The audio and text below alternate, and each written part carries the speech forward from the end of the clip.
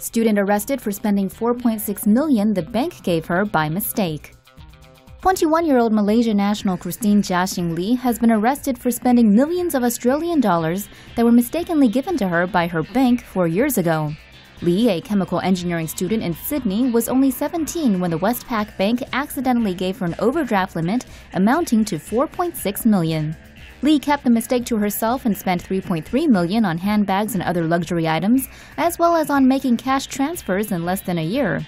She also rented a penthouse apartment with a view of the Sydney Harbour Bridge for $3,120 a month. Lee planned her exit strategy when police tried to contact her about the money.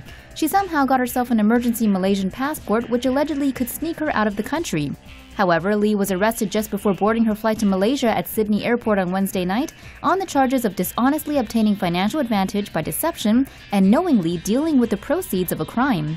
Magistrate Lisa Stapleton granted Lee bail on Thursday and said what Lee did was not the proceeds of a crime, but it's money we all dream of, adding that she may not have actually broken the law.